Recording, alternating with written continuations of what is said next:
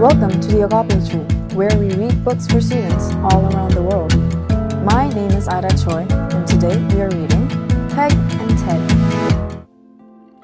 Peg and Ted, a scholastic book. By Bobby Lynn Maslen. Pictures by John R. Maslen. Ted and Peg met. Peg had a pet pig. Ted had a pet hen. The pet hen is red. The pet pig is pink.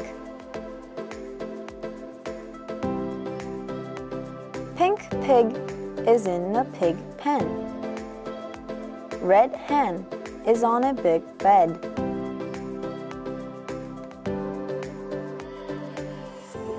And Ted went. The end. Let's review.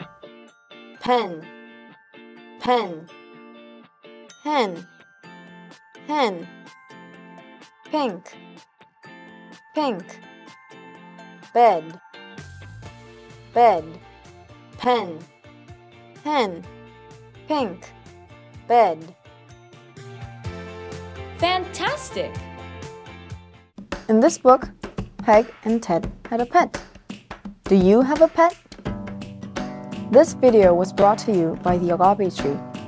We hope you enjoyed and see you soon.